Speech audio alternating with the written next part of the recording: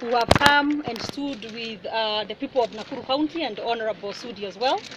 And uh, obviously, we are not, uh, it's, a, it's also quite a sad day that he has to remain in custody for another seven days. It seems a bit unusual, but again, uh, we are here, we are respecting the process, we are following the process, but at the same time, we would wish that uh, justice is meted out without um, being unfair to some and maybe a bit more favorable to others. But I'm just uh, putting that out there like that. But to the Kenyans who are watching us, to the Kenyans who are listening to us, I want you to see how much of a united people we are.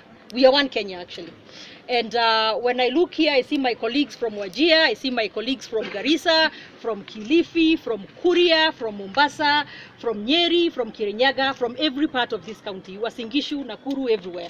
So for you Kenyans who are watching us, even in times like this, I would wish to urge that we remain united and we do not um, we do not let anybody come between us in, in anything and in any way. So we say we shall continue following the process and we shall await to hear what uh, happens in the next few days. Thank you.